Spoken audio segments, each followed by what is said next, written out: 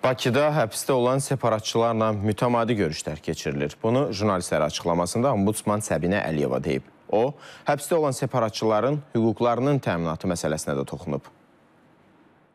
Hər bir saxlanılan şəxsə ə, qarşı biz ə, bu həssaslıqla ə, yanaşırıq və o cümlədən də bu şəxslər də ailələri ilə əlaqə saxlamaq imkanı yaradılmışdır. Tərcüməçi ilə təmin olunublar həm dövlət tərəfindən, həm öz ailələri tərəfindən, həm də digər bütün onlara şamil olunan bütün hüquqlar təmin olunubdur.